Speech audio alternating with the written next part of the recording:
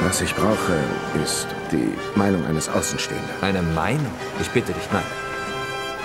Pass auf. Aufgrund des internationalen Drucks muss Pinochet eine Gegenkampagne akzeptieren. Mhm. Das ist die Gelegenheit für uns, die Diktatur zu stürzen. Und Pinochet macht ein Referendum, um es zu verlieren. Dieses Referendum hatten wir doch schon in dem Augenblick verloren, als die Faschisten es ausgerufen haben. Also wozu denn die Kampagne? No, mit Regenbogen. Ein Regenbogen? Ja. Steht das nicht für die Schwuchtel? Wir brauchen was Zugkräftiges, das genau die Bedeutung transportiert. Etwas Fröhliches, so wie... Dann die Freude an sich. Was gibt's Erfreulicheres als die Freude? Nichts. Nichts. Wir verwenden die Ästhetik und die Sprache der Werbung. Auf mich wirkt das wie ein Werbespot für Coca-Cola, aber hier geht's doch wohl um ja, mehr. Oh, nein, nein, nein. Verzeihung. Bei allem Respekt. Pardon.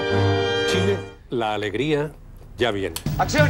No es anillo que brilla en la mano, no es el príncipe palo gitano. Die Notdanzstation zur Sendung gehen lassen. Eine Provokation. Kann dieser Affenzirkus nicht beendet werden? Das wäre ein Skandal. No me gusta, no